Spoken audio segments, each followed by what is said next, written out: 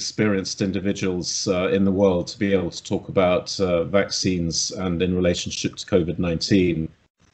And I think a little bit of the prehistory of our discussion was we spoke in early 2020, um, and you you did a very good open letter uh, to to the Chancellor in in Germany, expressing reservations about an overreaction.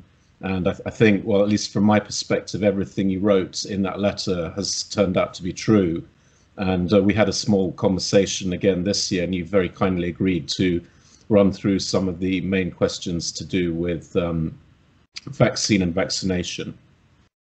Okay, so I think the first um, the first question then uh, there's a little picture of what a traditional sort of vaccine development program looks like, and I guess the first question is, you know, in your view, how much do we know about these vaccines and how much has the testing procedure and protocols uh, is it the same as what we usually do? Is it different?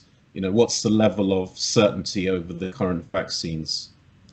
Well this is not my view. It's a fact that virtually nothing is known that should be known about these vaccines starting from the very beginning you know, animal models and um, where is the uh, gene expressed in the cell? What is the half-life?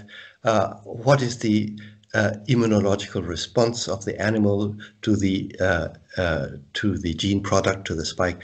Nothing has been looked at, and uh, therefore, in fact, this these vaccines haven't been investigated at all.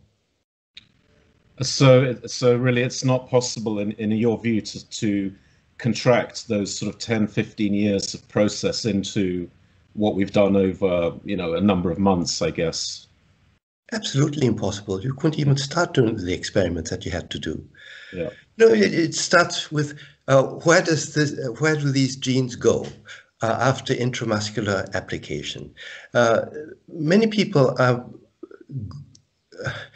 are mistakenly uh, are mistaken when they think that it stays in the muscle. Uh, in fact, it's known that that the, the vaccines all go to the lymph nodes and from there to the blood. Uh, but it's, it's it's never been revealed that there are no numbers to tell us. So all of this is really criminal. mm-hmm. So and and uh, so the sort of term experimental, which I think you've used, is is the correct term.